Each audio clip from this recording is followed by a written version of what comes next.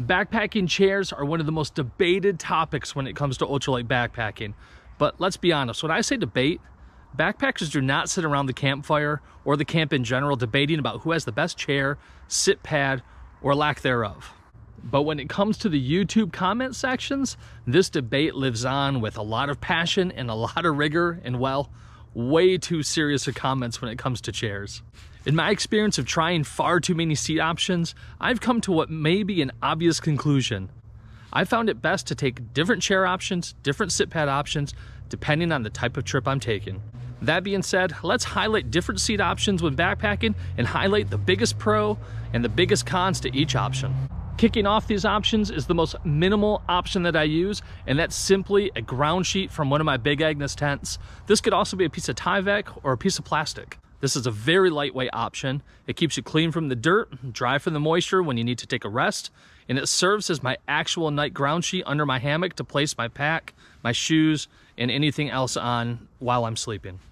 The pros of this option are its dual purpose, it's lightweight and its small volume for space savings, while still allowing you to sit down without getting dirty or wet, or even to lie down and kick back after a long day of hiking. The negatives are obvious though your glutes will go numb when sitting on the ground for quite a while with just a ground sheet.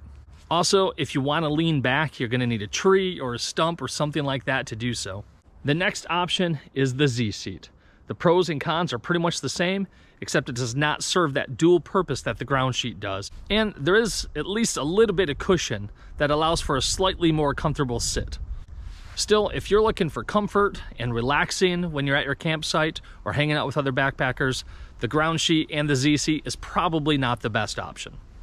Well, let's move off the ground and talk about a camp stool.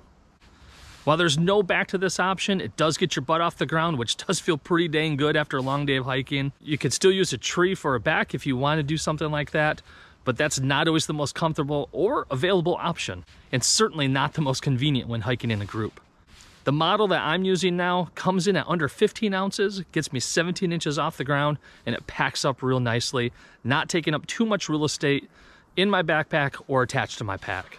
I like this option when hiking solo or in the snow because it's pretty light and keeps me off the ground. Now taking a step back and moving back to the ground, I have two options that allow me to sit back, which feels great after a long day of hiking, or to use in my tent if it's raining, or hanging around a campfire.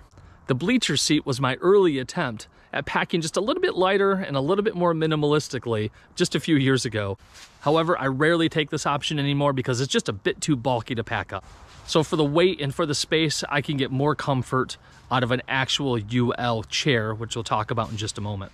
Now, my most controversial option is the Qwikback UL chair, which I purchased from litesmith.com a couple years ago.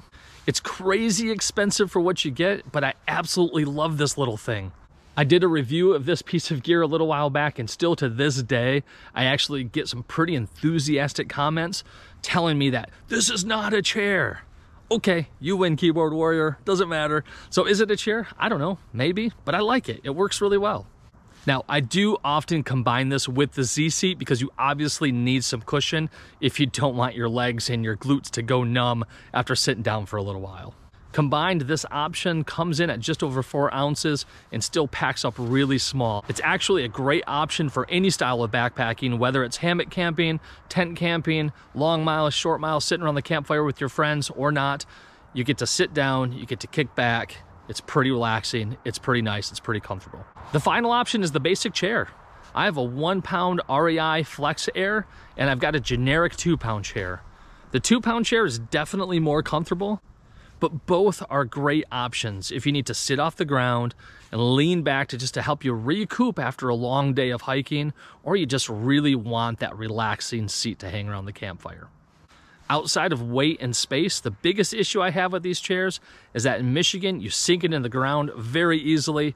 Here, you can kind of see how it already started digging into the ground, and that was after sitting in this chair for only about five minutes and making a meal.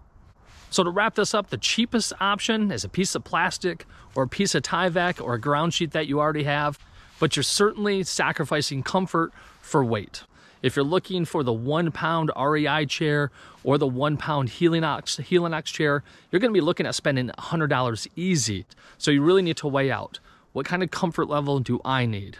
What kind of trip am I taking? What kind of money am I willing to spend? Am I hiking with friends or solo? Am I doing a lot of mi miles or is it going to be rainy weather? Each one of those options makes a difference on what sit option I'm going to take on my trips. My final conclusion is this when it comes to backpacking chairs. Backpacking chairs are a lot like Speedos. It really depends on personal preference. So look at all your options, make a decision, and just roll with it. See you guys on the next video. I don't give a shit about their feelings. I'm old.